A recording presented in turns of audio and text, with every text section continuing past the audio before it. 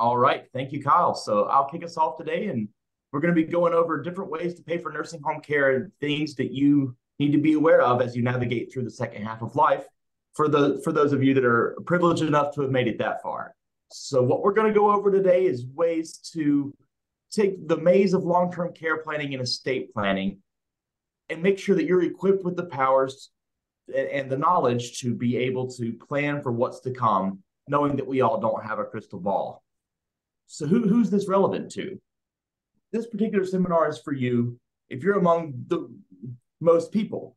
Really, for anybody who has more than $8,000 of total assets in your name, but would not be comfortable writing a check of over $12,000 per month to a nursing home, then this is for you. That middle ground is, is, is who we're here to protect. And um, and anybody who's making sure that well that's worried about that cost, but also wants to plan ahead to make sure that um, that there is a plan in place that that can be enacted in such a point that you're not able to manage your own affairs. So we do this for the peace of mind of knowing that there is something in place. So we don't have a crystal ball or a magic wand that you could wave to say, I know exactly what's going to happen and I know exactly how this is going to go because um, well, no, nobody has that kind of power. But even if you did have that magic ball, would you really want to look into it? And, and you know, I, I can make a perfect plan if I know when somebody's going to get sick, what they're going to get sick of, and when somebody's going to die. But we don't want to know those things. So what we so what we need to do is make sure that we have a plan that provides the flexibility for your families to be able to react to whatever's going to happen and protects your spouse and your beneficiaries to make sure that um, your second half, half of life can be planned to the extent that um, it can be given all the uncertainties that happen with aging. So let's let's hear from a, uh, a client testimonial here. This is Patricia from Port Matilda. Most likely, I, I, I assume in our State College office, and she, she, was glad that she made the call to reach out to us. Um, and and she noticed quickly that we have a very uh, knowledgeable staff, and she was able to be financially prepared for the future. So there's a roadmap that she can follow, and as she navigates her second half of life, she has the peace of mind of knowing that while we can't know exactly what's going to happen to her, there is a plan and there are people in place that will be able to take the ball from there. So, all right. Well, let's. It, it will introduce our speakers. So I guess I, I started this off, so I'll go first. As Kyle mentioned, my name is Landon Hodges. I'm one of the partners here at the firm. Um, if you pick up any accent as I'm talking, I'm originally from Mount Airy, North Carolina, small town just north of um, Winston-Salem. But for those of you who are aware of the Andy Griffith Show, it's known as Mayberry. So uh, if you find a similar accent there, that's exactly what it is. I did all of my schooling down there, first at Wake Forest University, then went on to Elon University School of Law, moved up here in 2017, first as an intern with a specialty in our wealth protection planning. But since then, I've, I've broadened that to, to be able to work in anything that the firm does, from wealth protection to long-term care, special needs planning, um, estate administration, and I also am am the fortunate one or unfortunate one, depending on the situation, that goes to court and does litigation stuff. Um, I've been recognized as, the, as a rising star with Super Lawyers. Unfortunately, that does not come with a cape. I guess you have to go more than rising star to get the cape. But for the past about three years, and I've been in my role as a partner since we uh, took over the Wyalusing office and started managing that in 2021. Oh, and of course, most importantly, I six months ago. I became a father, so I'm uh, not too not too low on sleep yet. So life's not got me down. All right, Tammy. All right, thank you, Landon. Uh, my name is Tammy Zilske. I'm a long-term care planner in our Williamsport office. Um, we have two certified Medicaid planners um, in our law firms, and I'm one of them that allows us to be knowledgeable about all the Medicaid rules and the ever changing uh, regulations that they throw out on us so that we can help our clients. Um, I'm also a certified dementia practitioner. Um, I hold an insurance license um, really just to make sure that we're knowledgeable about insurance products for the law firm, but we do not sell insurance here. I've been with the law firm for a little more than 16 years. And just to give you a little background, prior to my work here, I was a hospice social worker and I worked as a home and community based uh, care manager. Uh, I started my career out as a candy striper at the Williamsport Hospital. Many of you are probably familiar with the, the candy stripers. And, and that is where I um, fell in love with helping people. So that really just kind of triggered the, the goal of going to school for social work.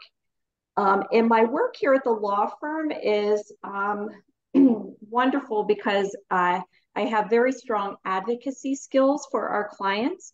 But when I have an attorney behind that in the law, um, it really just makes uh, the work that I do much more impactful. Like many of you, um, I've experienced uh, having a loved one with Alzheimer's disease. You'll see here I have a picture of my grandmother and uh, my mom and her uh, and our grand and the grandchildren. Um, this was when my grandmother was in very late stage Alzheimer's. And so she journeyed through this disease for more than 10 years. She was cared for by her spouse at home. I got to see how that really uh, impacted his health negatively. Uh, she went and lived with my mom for a very short period of time and then moved on to a nursing home uh, in the Alzheimer's unit. Uh, was there for, for six years. And so, you know, not only do I help people navigate uh, the process of long term care, but I have also experienced it. So that really does help me to have empathy to know what, what people are with. So we're going to hear from another one of our clients. Um, after my husband went into a nursing home, I went to another law firm in the area to see what could be done about paying for his care. They said there was nothing that could they could do for me and that I'd have to spend down my money for him to then be eligible to receive Medicaid. I was very concerned and felt they just left me on my own. I later was told to call this firm. I figured, why not? Because at this point, I had nothing to lose. After explaining my situation, I was told to come in right away because I required immediate attention. What they did for me was unreal, especially after being told I was in a hopeless situation by that other firm. They took action to protect our assets and get my husband's nursing home bills taken care of into the future. Everyone was so wonderful. I'd taken my daughter with me, and when we were told the bills were going to be paid, she cried because she knew what the other lawyer had previously said. I can't say enough about the kind of attention to detail. And so we wanted to just show you this because this is what we hear from all of our clients that we help with the Medicaid planning process, um, that they didn't realize that there were options to protect their assets. Um, and it is so important to come to a knowledgeable elder law firm um, because we know all of the uh, things that can be done to help you protect your assets. All right, I'm going to turn it over to Landon again.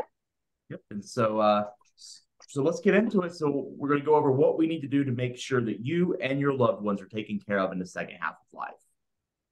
And so, as you see in that last testimonial, not all information and not all legal services are created equal. So we want to make sure that you get the right information and good and quality and quality service that can um, lead to better outcomes and reduce the uncertainty of aging. So let's dive right in. So Option number one is making sure that you have good legal documents.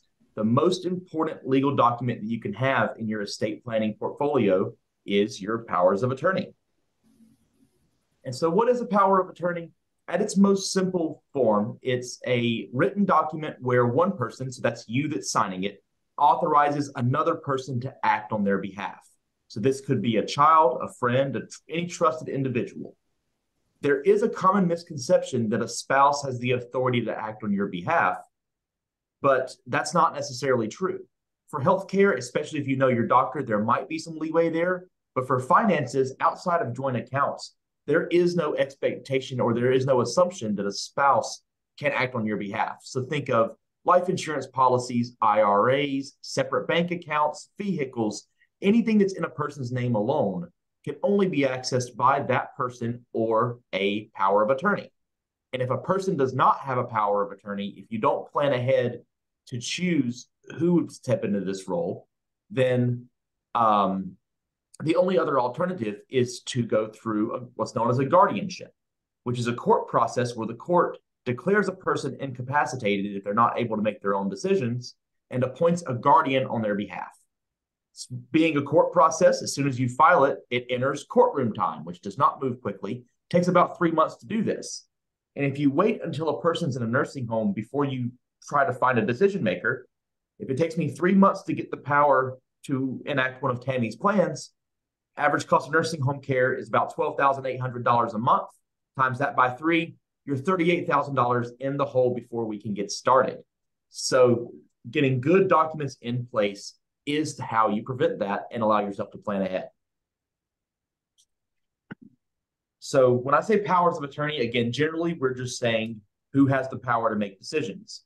Within that umbrella, it's broken up. We break these up into four different documents. They there can be different people on each of them, or you can have the same person on all of them, but they all do different things and are enacted at different times. So there's one that handles finances, one that handles healthcare, one for mental health, and a living will, which I'll discuss in a moment for end of life decisions.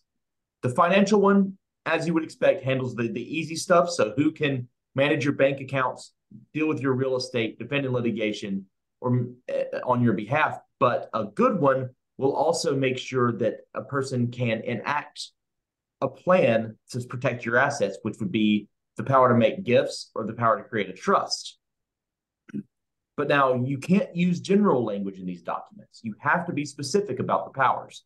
So, for example, if it just says the power to make gifts, which I will say most law firms do, because why elder law? Well, why, why would you go to a specialist to do this? Because a lot of people make them sound like they're simple documents. Well, even within licensed attorneys, you don't know what you don't know. So if you have a general form that has been passed down in your firm for generations and it, it works legally, that's fine. You don't know why the word gift is not enough. And if it doesn't say unlimited gifts, well, you are limited. And if you have to make large gifts, like to protect real estate, for example, you don't have that power. And here we are going to court for a guardianship.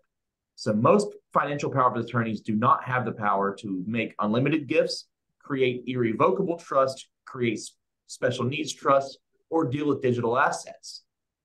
And so it's good to plan ahead and know that your documents have these in place because you don't want to find out when it's too late to update them. So I mentioned the need to be um, specific in these documents. So there was a, a, law change in July 2014. So and it was effective uh, in the beginning of 2015. So if you are on this call and you have things in place, if your power of attorney is older than 2015, it's probably time to have it looked at. Because under this law change, everything must be spelled out. So if you've seen documents from our firm, they're not they're they're not brief, um, which is which is fine. We don't do that on purpose just to make you read a lot. Um, we do that because we're not allowed to be specific, and we want your agents to be empowered to take over your estate if they really have to. So there should be a paragraph for every single power that the agent has. And as long as you trust that person, which you should if you're going to name them, they should be very powerful because this is the person that's going to step into your shoes if you ever find yourself unable to uh, manage your own affairs. All right, so that's the financial. On the other side of things, you've got your general healthcare power of attorney. This one is much smaller because this one is more or less general but you name a person who's going to be able to make your healthcare decisions. Now, of course, you're still in control for as long as you're able to be. But if you're unconscious or incapacitated, you need to ha- the doctor needs to have a point of contact who can consent to surgery, choose where you receive medical treatment, and of course, HIPAA, the medical privacy law, who can review your medical records. It's kind of hard to make decisions if you're not allowed to view records. So that's an important one to have. And then similarly, there's one for mental health. Now, this one's relatively new, especially on the timeline of laws. Laws have been around forever. This particular document's only been around in Pennsylvania since about 2013, but it works similarly. Um, you appoint a person that would be able to act on your behalf for your mental health care. Um, and it also includes treatments that would not be included in the healthcare power of attorney because mental health is an ever changing area of medicine. So things like a trial study or an experimental drug may be in your best interest if you were suffering from a mental health condition. And making sure that your agent has all the powers that they need includes mental health care as well. One thing that makes this one different, I don't like this law, but it it is the law, so I need to tell you about it. A mental health power of attorney expires every two years. Um, and so at our office, we keep a spreadsheet to remind you about that. But unfortunately, that is the law as of right now. If it ever changes, we will stop doing that. But for right now, that's the that's the lay of the land. Um, and then the last one, I do consider this a power of attorney because it is still naming somebody to act on your behalf while you're alive. But there is also a living will. And this deals with only end of life decisions. and it and we keep this separate from the healthcare power of attorney because of the powers of attorney, this is the only document that states what your wishes are as opposed to just naming who would carry out your wishes. So it comes into play if you're in a terminal condition or a state of permanent unconsciousness, like a coma or a vegetative state. And most importantly, there is no realistic hope of significant recovery. So basically, you're at the end of the line with no hope of recovery. And it answers the question of if you find yourself in that situation, what treatment would you want? Or most importantly, well, what I see most commonly with my clients, what treatments would you not want in that situation? So, for example, you know, would you want pain relieving drugs or what's known, especially in, in hospice realms, as comfort measures?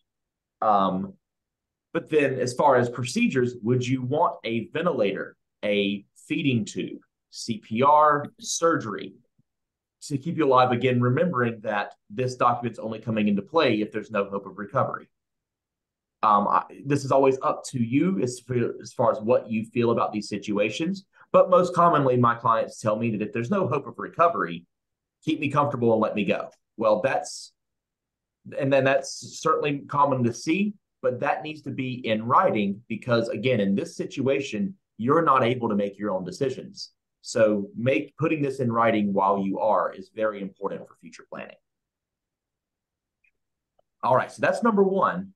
Number two, well, it, it goes with the theme of having good legal documents in place, but wills and trusts. And most people know what a will is. There's a lot of misconceptions about a trust. I'm going to try to clear some of that up today because the word trust is, is as broad as the word car. You tell me you're buying a car, that's great.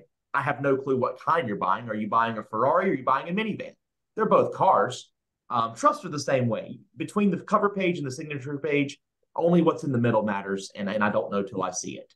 But to differentiate between these two things, uh, the powers of attorney only matter while you're alive, and they determine who makes decisions for you while you are alive. As soon as you die, they're no longer good. Then your will comes out um, and describes what, what you would want to happen there.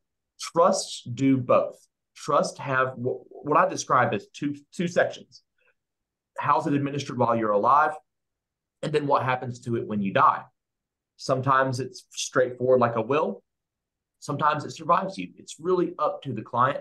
I, I, I love using trust as a tool because there's a lot of things you can do with them and they're extremely customizable. So if you can describe it, I can translate it to legalese and make it work for you. Um, but let's start with the will. So we talked about powers of attorney while you're alive, who makes decisions. A okay. will is important because as soon as you die, you you are empowered to be able to put in writing what happens to your stuff and who's in charge of doing it. So you will of course write who gets what, um, and you can be as specific or general as you want to there. So it could be as easily as easy as equally among my children. And then if one of my children dies before me, it goes to their children. That's pretty common, pretty simple. But it doesn't have to be. I've heck, I've done 15 page wills with people getting very specific. It's up to you. It's all this is all personal. Nothing's cookie cutter in our office. It's all specific to your situation. But you also need to designate in your will who is your executor or personal representative. We use the term executor. If you ever see personal representative, it means the exact same thing. It's who's doing the work. You know, you die, you own a lifetime worth of assets. Who's going to get that to your heirs? Your executor you have the power to name this. And then for those of you who might have minor children, you can name, well, if, if you have somebody under 18, there needs to be a guardian. Again, all of this is about power and empowering you know what you want. So you can say who it is. A will needs to be signed in front of two witnesses and a notary to be self-proving, meaning you don't have to drag witnesses into court to say, oh, yeah, I saw them see, sign it. Um, and then a good will is going to have what's known as a bypass clause, um, a clause that would say that if typically a person's a married person's will would say, if I die first, everything goes to my spouse. But what happens if that spouse is in really poor health or in a nursing home? Um, in order to protect some assets, we don't want it going all to them. So the I love you will is everything goes to my spouse. The I love you, but will is I love you, but we're going to lose all of our assets if this goes into your name. So we're going to go ahead and protect the children there. Now, even if we bypass the spouse, I will note that legally you can legally you can't disinherit your spouse. Um, they always have the power to force at least one third of your estate, so that's not protected. But in a bypass clause, you can at least protect two thirds of your estate, even if your spouse is in very poor health when you pass away. Right. Now, anytime I talk about wills, I would be remiss to not talk about will substitutes. So the will is does not cover everything that's in your estate. Um, the will only covers what's known as probate assets. So probate assets are assets that are in your name alone with no joint owner, with no beneficiary designation. But there are assets that can that can pass non-probate, and that's assets that are in trust, joint assets with of survivorship, and assets with a beneficiary designation. So a lot of you probably have retirement plans or life insurance policies, or uh, maybe brokerage accounts with a with a TOD or transfer on death designation. Well, regardless of what your will says, those assets are going to pass to that beneficiary. So let's say you, when you open your retirement plan, you put your three children on there. And since then, one of them needs to come out of the plan. I'm not going to ask why. This is your plan. Sometimes children need to be cut out. I, I'm, I'm here for that. But okay, so I update your will for you. If you don't update that life insurance policy or that IRA, then it's going three ways. So anytime you change the distribution scheme of your estate plan, check your will and check joint owners on your accounts and your beneficiary designations because this can be very important. All right, and um, oh, yep, and so it's good to look at those every once in a while because I, our firm does a comprehensive approach, so we're going to look at it all. But if you go to to uh, um, a less specialized law firm and tell them, you know, if they're there to just take orders from you, you say, I want a will or I want to update my will, they say, okay, hit the print button. Here it is. No consultation, no look at it. You're done. Well, you got what you asked for. You got a will, but they didn't take a look at your situation and apply any expertise to it. Um, and so, so, so yeah, so the will covers, like I said, everything that's in your name. And I, but I dabbled in the word trust earlier. So exactly what is that? So a trust is an entity separate from you, um, governed by a written document. Basically, it's an entity that can hold property out of your name under rules that you set. You get to choose who the trustee is, meaning who manages assets that are in this trust, and you get to set the beneficiaries. So, who's the trust for? Who does it go to when you die? Who can access it while you're alive? Um, and there's and I said earlier, there's the, the word trust is as broad as the word car. I, I probably have done 10 to 15 different types of trusts. So when somebody says they have one, it doesn't tell me anything. But there's two large umbrellas within trust law that need to be you need to be aware of. One is revocable trust, sometimes called a living trust, and the other one is a word that my accent people pronounce this differently, but an irrevocable trust or irrevocable. I, I, have trouble saying that, but irrevocable. Um, so revocable trust, it, it's exactly the way you can it sounds. You can do anything to it. You can change any word of it, or you can say, I don't like this anymore. I revoke it and give everything back to me. That avoids probate still, but it provides no long-term care or asset protection whatsoever. Because if you're allowed to reach in there and take whatever you want, then a nursing home is allowed to make you go in there and pay your bill out of it. On the other hand, an irrevocable trust is the opposite. Once it's set up, you can't just change your mind and say, I, I want to pull everything out of here, which is where you get protection. So, in order to get any sort of protection, whether that's from long term care or from taxes, you do have to give up some power, some control, and some access. Because if you have it all, it's all it's all at risk. Um, and so irrevocable trust allows you to choose what you protect. So just because you set one up does not mean that everything goes in there. Once it's set up, the next question is, what do you want to put in here? What do you want to protect? And now the way we set our trust, our irrevocable trust up, is that you can still keep control of the asset. So you're not completely giving it away. You're putting it into a trust that you can be the trustee of. You can manage this but and you can so by managing i mean you can sell real estate you can buy stocks you can sell stocks you can choose what happens to the assets the one thing you cannot do while get while getting the protection that we want you to have is you cannot pull principal out of the trust meaning the value of whatever you put in there um and so for example in real estate if you put a house in there it's protected subject to, the, to a five-year look-back period that tammy's going to discuss in a little while um, you're as the trustee, you're allowed to sell that house and downsize if you want, but the money from that sale is principal. So if you sell a house for two hundred thousand dollars, the trust now owns two hundred thousand dollars. Now that money is protected, and you can use it to buy a new house, but you can't say I'm going to pull out fifty thousand dollars and go on a river cruise in Europe because you're protecting that money. So it's money that you want to set aside to ensure that it will be inherited by your children down the road. And all right, so a little recap there. So what do we do at this point? Review if you've got existing documents in place, especially if it's been over, say, seven to 10 years. It's good to dust the old thing off, have a look at it. Make sure you've got good legal documents in place to avoid your family from from getting into a bad situation if um, you were to find yourself not able to manage your affairs and have not planned ahead.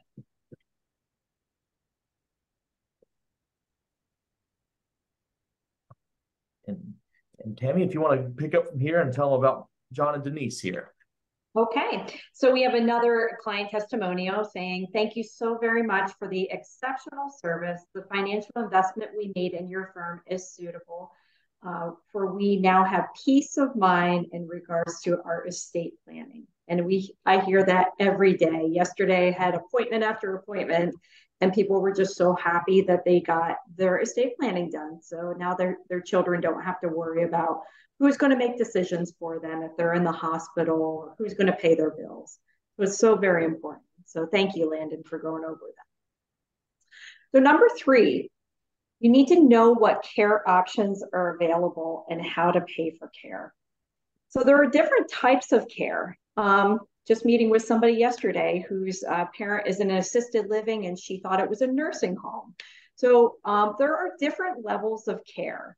So most of you know about nursing home care. Nursing home care is, is really um, reserved for people who need a lot of care, either physically or mentally. But in addition to that, there are personal care homes, also known as assisted living care.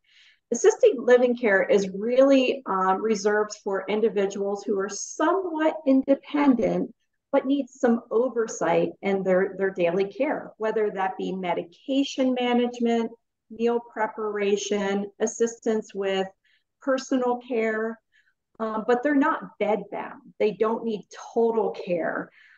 A lot of assisted living facilities are now offering tiered care. So it is very confusing. People think that an assisted living that offers multiple levels of care is uh, equivalent to a nursing home.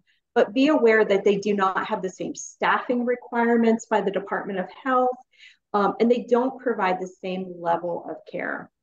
But it is really great that these assisted living facilities are offering these different levels of care because people were typically forced to go to nursing homes when really they didn't need to be there. Um, so I'm going to talk a little bit about the, the pay differences on those types of facilities. Um, so just kind of keep that in mind as I go into the next slide. But before I go into that, the other type of care you can get is in-home care. So you can hire caregivers to come into your home. These are typically not nurses. It would just be non-skilled caregivers who are going to come in and help you with bathing, dressing, meal preparation, shopping errands, things like that. And depending on where you live, there may be an abundance of home care agencies available to you. Um, if you live in very rural areas, there may be very few. So um, you just really have to be aware of what's available in your area um, we're lucky at our office, we have um, what we call care coordinators, and their job is to really help our clients navigate these services. What, what can they get to stay at home? Where could they go if they need assisted living or nursing home care? In addition to that, that's not on this slide that I just want to bring up is um, some areas have what's called life programs and is a comprehensive medical program where you um, go to an adult day program during the day, but you come home at night. Um, so that is also available in certain areas. The next thing you really didn't need to know is, well, how do I pay for care? Uh, there's private pay. So you, obviously you can use your own money to pay for care. If you don't need a lot of care, that might be sustainable. But if you need nursing home care, it's upwards to $175,000 a year. So you're going to need to know what benefits are out there to help you pay for care. Um, we also look at veterans benefits. So veterans benefits are available for um, for service or non-service connected disability benefits. Um, and if you serve during a qualifying war period, you're over 65 years old or disabled, um, you can qualify, or your spouse, or if you're widowed, could qualify for a monthly pension, and that will help pay for in home care, assisted living, or nursing home care. Now, I usually reserve that for in home care or assisted living care because the maximum amount is a little over $3,000 you can get per month. And again, if we're looking at a 12 or $13,000 monthly nursing home bill, obviously that's not sufficient. The other way to pay for care is long-term care insurance. Long-term care insurance is something you need to get in advance of the crisis. So you can't uh, be sick and get long-term care insurance. Um, you really have to start the application process for that probably in your 50s, maybe early 60s, but not have a medical diagnosis that's going to make the insurance company deny your application. So that is something that our law firm does not sell, but we can get you in contact with um, licensed agents who do sell that. And I strongly encourage everybody who can afford it to consider long term care insurance because really it opens up your options on where you live and what type of care that you can receive. Medicare is another way to pay for care, but it's very short term. So um, there are Medicare Advantage plans that take the place of your Medicare. So I just want people to be aware that Medicare will pay for up to 100 days in a skilled nursing facility after a three day qualifying hospital stay. But if you have gotten into a Medicare Advantage plan, you are giving up your Medicare rights. And so you um, you you may not receive 100 days. It all depends on the plan that you sign up for. So if you are considering uh, when open enrollment comes up here in October through December, and looking at a, a, less expensive Medicare supplement plan to supplement your Medicare, and you're thinking about an Advantage plan, just make sure you talk to your agent about all of the uh, advantages and disadvantages of what they will pay for. But regardless, Medicare was not set up to pay for long term care. So if you need care beyond your therapy, Medicare is not going to pay for that. And that's when it goes back to the private pay. The final way to pay for care is Medicaid. Um, and in order to be eligible for Medicaid, you have to be meet the financial criteria. Um, this is a much more complex conversation to have on a, a, in a seminar. Um, so I'll talk a little bit more about this, but really without the help of an elder law attorney, um, getting Medicaid is very difficult. They, I've been doing Medicaid applications for um, close to 17 years now. And I would say in the last four or five years, they've gotten more and more challenging. Um, so, anybody who needs nursing home care, I just really strongly recommend that you try not to do this on your own. Get to an elder law firm so that we can maximize what's protected and get you those benefits you're entitled to. But just to kind of go back, when I was talking about facility care, assisted living care is always private pay. So if you are looking at that type of level of care, just be aware you could get, you know, use your own money private pay, you could use your veterans benefits, you could use long-term care insurance. Medicare and Medicaid will not pay for the assisted living facilities. So when you are looking at a facility for you or a loved one, you need to make sure you understand how um, how individuals pay for that type of care.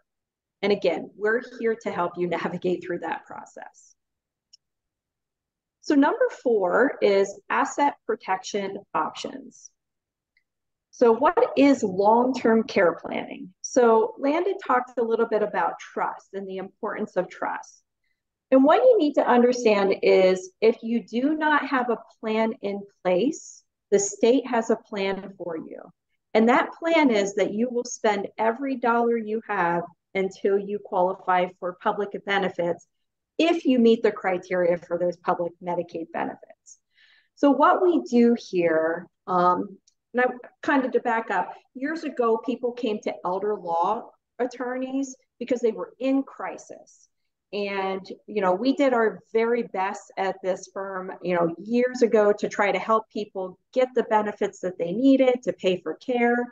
And I would say the bulk of our um, services right now, in addition to crisis planning, is pre planning. And that's the work that, that Landon does with clients. People that don't want to be in a crisis, they want to have a good plan in place so that if they go to a nursing home, they have the peace of mind the nursing home or the state of Pennsylvania cannot take their home, they cannot take their assets, uh, they cannot take uh, their income. So, having a good plan in place is really what will allow you to have that assurance that those assets that you worked really hard for are protected. How do you protect these assets? So, like Landon said, every client's different. We um, we customize our plan based on our clients, what their needs are, what their family um, looks like. You know, do they have children with disabilities? Um, is their spouse going to need care at home or an assisted living? Uh, so there's all sorts of uh, plans that that we can look at based on whatever your needs are. So it's really kind of like putting a puzzle together, which is kind of um, fun for us. We're able to look at your situation and then we put together all the appropriate legal documents and long term care planning so that we're helping you meet those goals that you have. So, one of the things that people ask us every day is Can I just give my property to my kids or give my money to my kids and protect it? Um, you can do that, but there are a lot of risks with that. Um, you'll see here we have the four Ds. The, the biggest risk is if you're you give your property to your child and they pass away before you, their death becomes subject to um, you know your property is subject to their death. So you could lose your property um, to the beneficiaries of their estate. Um, if they became disabled themselves and went into a nursing home, you could lose your property to their disability. If they had debt, they got in a car accident, no fault of their own, somebody sued them beyond the insurance, your property could be subject to their um, debt. Um, and so there are just a number of, of things to consider when we're looking at um, transferring to children. And most of the time, we recommend the trust because those assets are shielded from the beneficiary's creditors. The other thing to kind of keep in mind is there is a five year look back for Medicaid. So if you came into our office today and said, I want to put my property in a trust, but my spouse is going to need nursing home care very soon, we're going to have a different plan for you because of the five year look back. Doesn't mean we can't help you. We have other strategies um, that will not jeopardize your benefits within five years. So that five-year look back is very important. And then I know a lot of seminar attendees have uh, questions about the $500 gifting limit. So Medicaid, when you apply for benefits, they are going to pull in all of your finances in the last five years. They will look through your bank accounts. And if you have made gifts in excess of 500 in a calendar month, so that, for example, means the month of September, um, you gave away $700.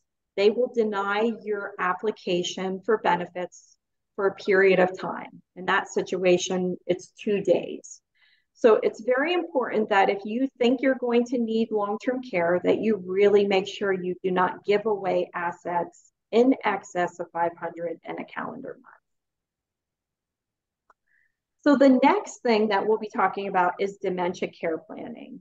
So this is something that our office is very passionate about because again, we have a lot of our staff have experienced family members with dementia, but we've also served a lot of um, clients at our law firm that have had dementia or Alzheimer's or a variety of different types of um, uh, cognitive declines. And so we really want to make sure that we're meeting the needs of those clients. Um, so the things that we consider when we're meeting with the dementia client is, do they have good legal planning documents? And if they don't, we want to get those right away before they lose the ability to, to put those in place. Um, we're also looking at, you know, what are the needs going to be long, long term? Who's going to care for them if their primary caregiver can't care for them? Um, and just a variety of different things that, that we work on uh, for those clients. So some action steps to remember are um, to make sure that you have good uh, medical power of attorney, financial power of attorney, and good legal planning in place. I'm going to turn it over to Landon. All right. Yep. And thank you, Tammy. But just like I mentioned earlier, so a good plan is going to be one that is specific to you. There's uh, there's no way I can do a, a and, anybody who's met with me in, in the office uh, knows that I'm not I'm not brief. I'm pretty long winded, but I can't just take a 10 minute phone call and then hit print on my computer and have a plan for you. It needs to be specific to you and if you have other professionals, I love to work with clients, financial advisors, and accountants, because that way, between the three of us, we have a full picture of your situation. And if we're all on the same page, that's just more assurance that you have a good plan that's going to work in your situation. So, Tammy mentioned that uh, dementia planning is central to what we do. We are a dementia friendly law firm. So, what is that? Well, it's more than just spitting out legal documents. Again, we're not a paper factory. We're not a, a, a firm that's just going to, to have the same cookie cutter approach to every client. We want to look at your entire situation and reach out into the community to see what to see what um, sort of resources are out there. So what we do is is, a, is about planning, but it's also about empowering. We want to empower you to make sure that your plan works for you and that you know what's out there so that whatever the second half of life throws at you, you're going to be equipped to handle. And uh, it, as part of that, so um, Tammy mentioned that some of some of our coworkers are our care coordinators, and so we do um, support groups for caregivers or people that are going people that are going through this journey themselves or children who are working with parents that are going through this journey. Um, you see some dates on here. We got virtual meetings on Zoom. Um, our State College office does some in person at the fourth Tuesday of each month. Williams Williamsport does third Tuesday of each each month at our resource center on Washington Boulevard. And it's not on here. We must have ran out of room. But our it, for those of you in the northern tier, our Wyalusing office hosts one at our well, actually at our Wysox office I believe that's the second Tuesday of every month as well.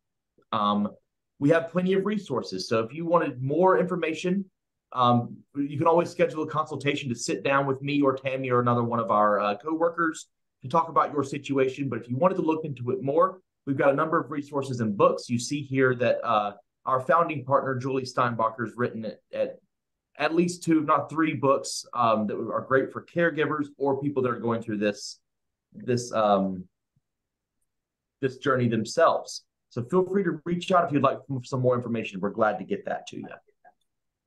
And this slide, there's a lot going on here, but we, I keep talking about the journey. So as a dementia-focused law firm, there's a lot of steps involved here. And as you can see on here, elder care attorney visit is several of these steps. So you're not alone in this journey, but know that that um, it's normal to be overwhelmed by the process. So it's good to have um, uh, knowledgeable professionals in place that can assist you on both the financial, medical, and um, social side of all of this. All right, so what do you do? Well, you put a plan in place. And what does that plan look like? So, to kind of recap, we've gone over three different levels of planning. Tammy mentioned pre planning, which is where everybody starts. It starts with the wills, starts with the powers of attorney, getting the documents and the infrastructure in place to be able to react if something happens to you, or setting aside assets to come up with a gifting strategy to make sure that if there is a crisis, you're more prepared and you already have assets saved. That's step one. Step two is crisis planning. We thankfully our industry no longer waits for the crisis, but we are still equipped to do it. And Tammy is at the forefront of that with all of her her wealth of Medicaid knowledge. Um, where if you've done some pre-planning, the amount that has to be spent in crisis is much less but even if somebody skips step one and you have that um, that that crisis, there's still a lot that can be done. So it's not too late until potentially somebody passes away. Which step three of all planning is estate administration. After somebody passes away, there's a lot of work to be done. Those who have worked with our office before they pass are already going to be equipped to, to know what that roadmap looks like. But even those who haven't, our office is equipped to walk you through that process and allow you to continue to be with your family to grieve together. We'll take all the business stuff. So a plan in place can walk you through each of those. Step one is always great. Step two, some people need it, some people don't. You don't know what's going to happen in the second half of life, but no one escapes step three. So making sure that you're equipped when you get there is key. All right. And so um, so remember, planning ahead is essential. It's all about empowering and it's all about the peace of mind.